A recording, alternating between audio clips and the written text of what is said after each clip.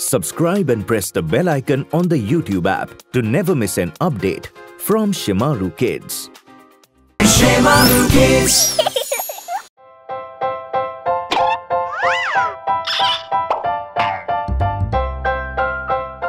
Hello, everybody.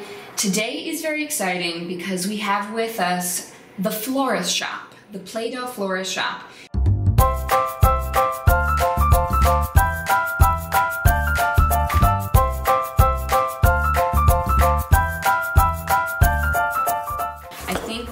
To just crack this open, let's see what kind of natural beauty awaits. Ooh, we've got our flower stems, which is crucial. We can set all of our flowers with the stem base. Okay, we've got one of our molds. Kind of looks like a tulip mold, almost.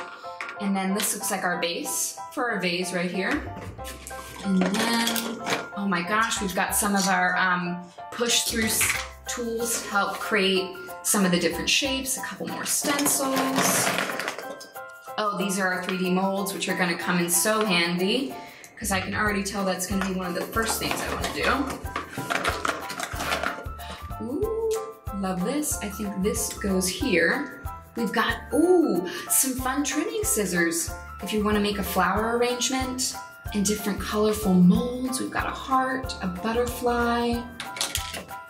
What else we got going on? Oh, our vase, love that. With its own spots for all the stems, so everything stands up really nice and straight and beautiful. These are the colors that we're working with. Ooh, love it. You know what? I'm gonna set these. So we'll just pop them out of their package. Nice. Ooh, we got like a lavender, a pink, a little bit of an orange, and some white. And our final three things. A nice little handy knife tool, which is always great. A couple more stencils for our push through tool, and a little roller. Okay, I think that we are ready to get going. So, if I look at this, these are both good options. I'm trying to think, you know, I was thinking what could be fun is starting with the lavender and this top shape. This almost looks very much like a rose. I think that's kind of what they're working with right there. If anybody has seen, you know, different stories like Beauty and the Beast, where there are a lot, where the rose is a big part of the story, you could try to recreate the rose from that. I used to love drawing roses when I was little and coloring them in, and what could be really fun is if you guys found the color combination that you love, and with these 3D molds, what you want to do, as I realized I was jumping the gun here, we're going to turn this and set our stem in. We want to actually rest the stem within once we put Play-Doh on each side. So let me put this to the side. But what I was saying is, I think what could be really fun is if you draw a picture of, say, a rose you really love and the different color combinations that you really like, you could end up trying to bring it to life with the Play-Doh set right here. And that's kind of a cool way of feeling like your Mother Nature a little bit, you know? Making it happen, giving somebody a beautiful gift. I mean, a flower, can't get much better than that for a gift. And now, once you have your Play-Doh on each side, you're gonna wanna steady the stem right here, flower or butterfly side up. And we're gonna bring it right around. Really press hard. And then, let's see if it took hold. Beautiful! Look at that. And it presses all the extra to the side, as we know. If you guys have played with these 3D molds before, that's what happens. We're gonna take our extra from the side, use our handy dandy knife here. Take some of the extra away. Oh, this is turning out beautiful. I, I wish that somebody, I wish that I could find this flower for myself. But the good thing is, we've gotten almost just as close because we can make it with this. So, now you want to be gentle and just ever so slightly pull it out and look, from every angle, we've got a beautiful rose flower. And I think this is the first one we can add to our vase. I think this should go in the center, honestly. We're gonna take it right there, star of the show right away. Beautiful. So we started with our rose looking flower, but here's the fun part. This next 3D mold, we could do a two color combination, which again, sounds like a lot of fun. This caught my eye right away when we opened the box. I think I definitely want to use this color. And then maybe do a fun white to have it really pop because they're very different in terms of colors. Let's get a little chunk of both. When I was growing up, we had just a couple different flowers that really would come back every year in the springtime in my backyard. And one of them looked a lot like this mold. So it's gonna be kind of fun to try to make something, even though they weren't these colors, it was actually, if we had a blue here, I would probably use blue, because that's the color of the flower that was showing up in my garden when I was little. But yeah, if you notice, we have this section on the bottom, and then this center part that comes up the top. So, I think that I want the white part to come in the bottom section.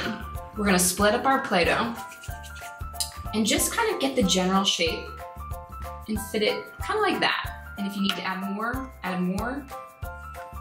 Because what we're gonna do after we put it on both sides is put our stem in the center like we did for our last flower.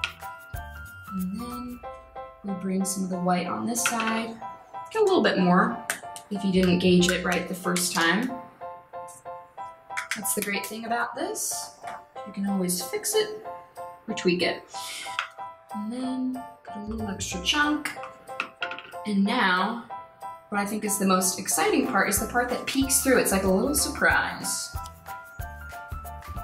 I think this would be a great one to make. The fun thing is, it's called Florist Shop. You could pretend like you actually have your own flower shop. Take an order from like your mom or your dad, see what they might like.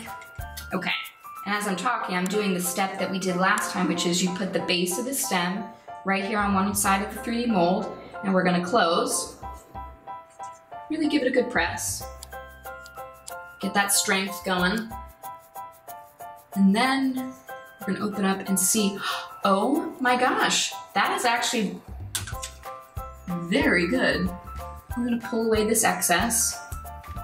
But yeah, like I was saying, I think, honestly, you could just keep playing with different color combinations, find out the colors that your friends like, or if you have brothers or sisters, your dog. um, what does everybody like? And then you can just surprise them with these fancy looking flowers. Okay, now this is the part where we want to be gentle because they are 3D. You know, they're, we can have some heaviness on top, but look at that. That turned out great. Okay, we need to smooth out the edges. And we definitely want this to join in our arrangement here. I think that we want to kind of go to the side here. Awesome. I want you all to have a really good look at these flowers and how beautiful they are. I'm gonna pull this to the side just so that we can really focus in on those colors. They are gorgeous, and I think they turned out so beautifully. For my first go being a florist, I think we're doing a pretty good job. So, next up, we're gonna do a little stencil work. And you know what? I think that we should dive into the pink because that's the color that we haven't used yet. And it's actually gonna go kind of perfectly because we're gonna use the heart stencil. I'm gonna take out a bunch of this because as you're gonna see, we're gonna make a few different hearts. So we might need a lot of this. So we have our rolling tool and we have our pink Play-Doh. We're gonna give it a good roll. And if you need to hold one side down, that can work really nicely. Roll it out, roll it to the side, get it nice and large so that your stencil will fit. Give a good press. Pull away what you're not working with. We got one of our hearts ready. Now, like I said, we're gonna make a few, and you'll see in a second what we're gonna do with them. It's one of the fun things that I saw on the box as an option of what we can make are these flowers that aren't using the 3D molds, but using the different shapes that you can make from these stencils. So, I'm gonna give it a go. And then we're gonna do our final one in one moment. yeah, this takes takes me back to making different shapes and creations with Play-Doh when I was younger. And I didn't make a ton of flowers, so now I'm kind of getting that in now. Because these stencils give you so many different options. Okay, final heart, complete. Beautiful. So, we can still work with the stems because we're gonna add it to our arrangement. But let's play around with using these parts as petals. So let's pull a stem here. We've got our light green stem and we're gonna just take the, the bottom of the heart and kind of pinch it right, right here like so.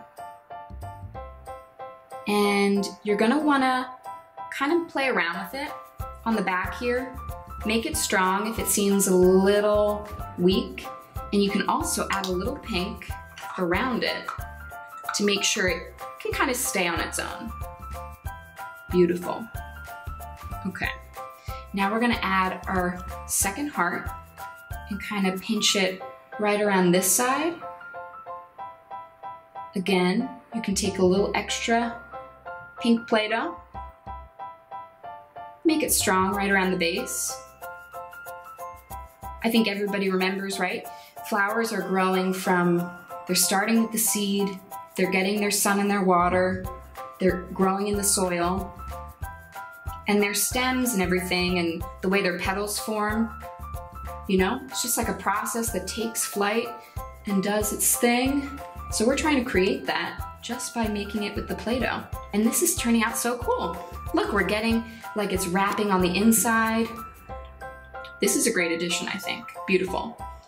Okay, so I think that this should probably go to the side of our arrangement. I wonder how tall it's gonna look against the others. And that looks awesome. It looks like a full arrangement, like a trio of flower friends.